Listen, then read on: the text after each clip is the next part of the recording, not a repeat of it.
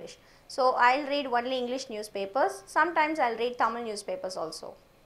Do you think reading magazine and uh, reading newspapers will develop the person's communication skills and why and why not?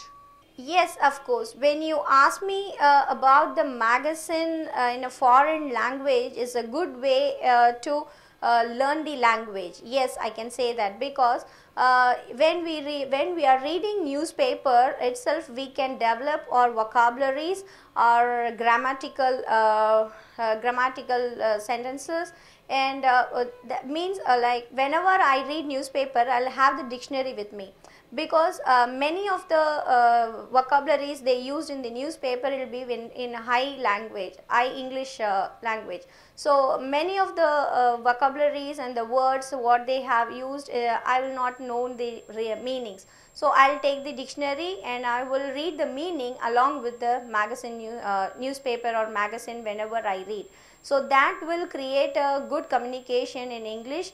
And not only in english whatever language we read uh, it will definitely give you a chance of uh, chance uh, of learning a new language.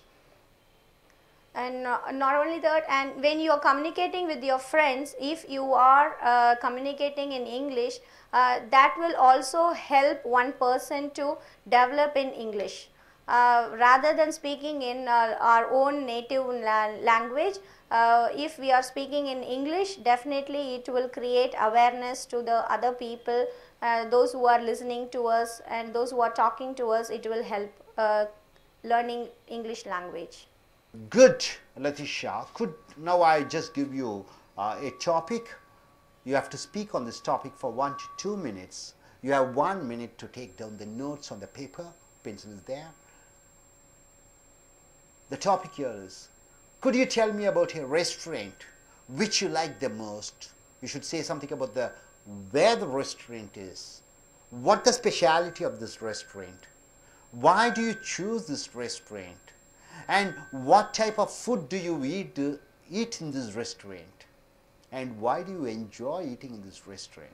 Okay, when you ask me about a restaurant, I can talk about a restaurant